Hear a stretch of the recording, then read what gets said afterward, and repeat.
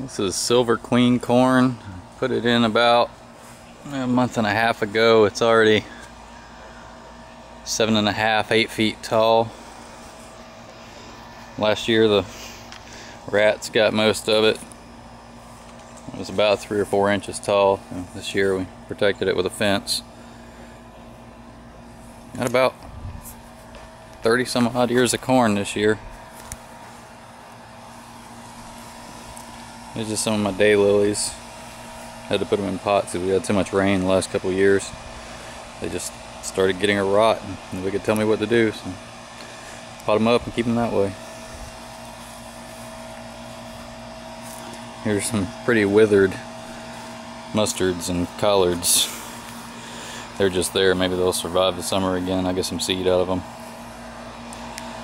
And over here in the raised bed, I've got some peaches and cream corn. And some wax beans and a couple onions left over from the winter.